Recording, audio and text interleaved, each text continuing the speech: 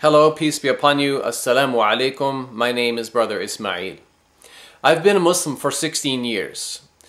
But in the past few years, I have been bothered by some reoccurring issues which have forced me to question my Islamic faith. And recently I have decided to finally leave Islam, and in this video I will explain why. Now, I don't think it's fair for Muslims to consider me as some kind of traitor or sellout, because over the years I've done my best to be faithful and loyal to Islam.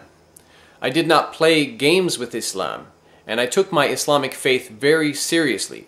And whenever I found any Islamic teaching difficult, problematic, or controversial, I always did my best to research the issue for myself and for my fellow Muslims to resolve it. I certainly was not perfect, but I think very few people would question my sincerity to Allah, Muhammad, and to Islam. So I can assure you that I was committed to this religion called Islam. Now let me address the title of this video, the question why I left Islam. The answer to this question is the Quran and Muhammad and their teachings on moral standards and conduct. You see, over the past few years, I have found that I am no longer able to defend the Quran and especially Muhammad's moral morals and conduct. In the past, I have done my best to defend Islam, and in particular to defend Muhammad from the claims and charges made against him. I tried my best to love Muhammad, and I can prove I stood up for him and defended him many times. For example, I produced videos like was Muhammad merciful, where I tried to provide examples of Muhammad's good character.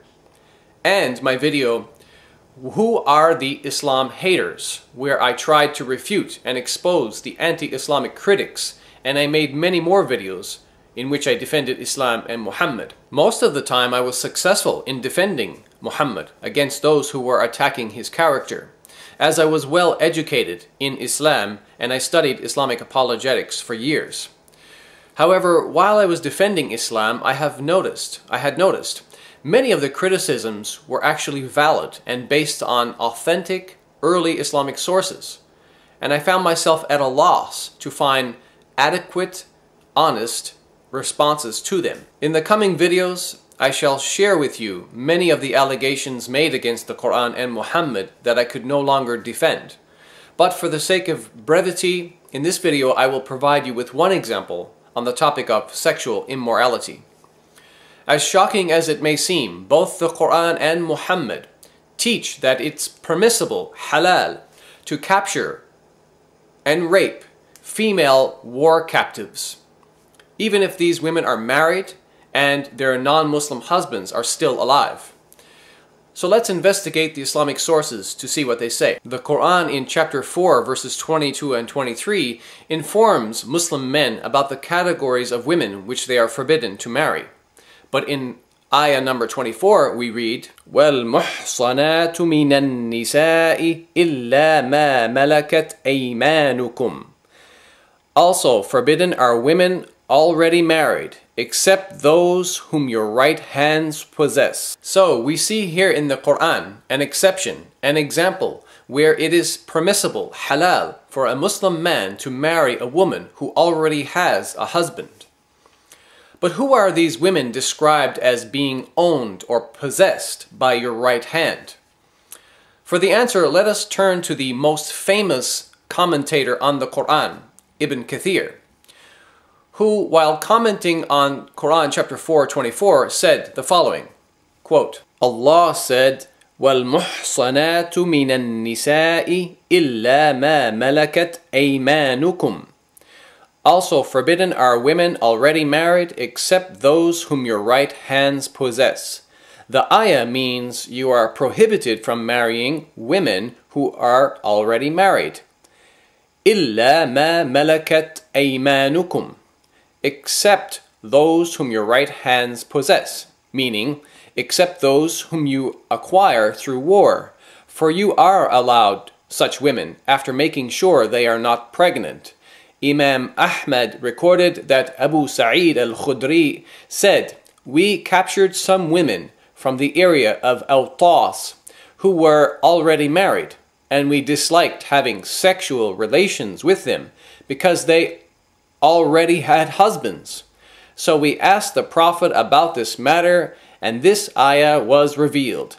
وَالْمُحْصَنَاتُ مِنَ النِّسَاءِ إِلَّا مَا مَلَكَتْ أَيْمَانُكُمْ Also forbidden are women already married, except those whom your right hands possess. Consequently, we had sexual relations with these women. This is the recording collected by At-Tirmidhi, An-Nasa'i, Ibn Jarir, and Muslim in his Sahih. Now at this point, maybe you're in a state of shock. Maybe you're even saying to yourself, this is impossible. The glorious Quran and the noble Prophet Muhammad would never teach such sexual immorality. Or maybe you're thinking, there must be some other more positive interpretation to the Quran, chapter 4, verse 24. Or maybe you're even trying to convince yourself that the great Islamic scholar and the most famous Quran commentator, Ibn Kathir, is completely wrong and he has no idea what he's talking about. Brothers and sisters, I wish all of that were true, but unfortunately, when we investigate the matter further, things just get worse. For example, we read in the following hadith. In Sunan Abi Dawood, Volume 2, Hadith number 2155, Abu Sa'id al Khudri narrated the Messenger of Allah, meaning Muhammad, sent a military expedition to Awtas on the day of Hunain, and they met their enemy, fought them, and defeated them. They took captives. فكأن أناسا من أصحاب رسول الله تحرجوا من غشيانهن من أجل أزواجهن من المشركين But some of the companions of the Messenger of Allah were reluctant or felt uncomfortable to have relations, meaning sex, with them, meaning the female captives, because of their pagan husbands. فأنزل الله في ذلك والمحصنات من النساء إلا ما ملكت أيمانكم so Allah revealed the Quranic verse, and forbidden are women already married except those whom your right hands possess. And this is again uh, Quran chapter 4 verse 24 as we said. أي فهن لهم حلال إذا أنقضت عدتهن meaning they are lawful or allowed for them when they complete their waiting period.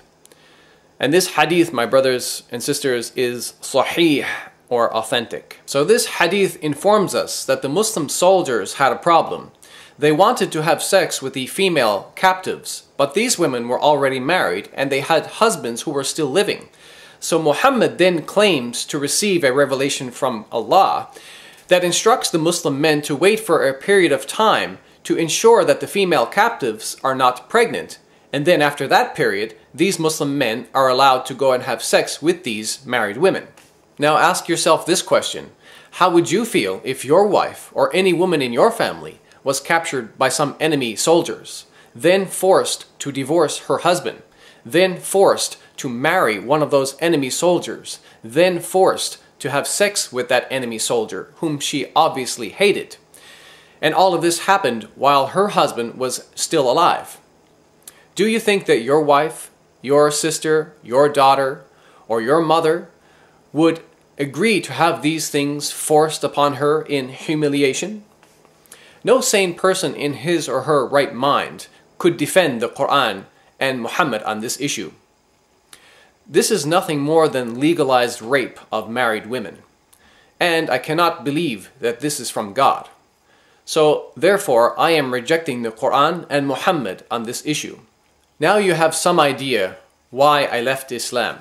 And in the coming videos, I hope to share more reasons with you, because there are many. Thank you for watching, and may God bless you and me and us all. Amen.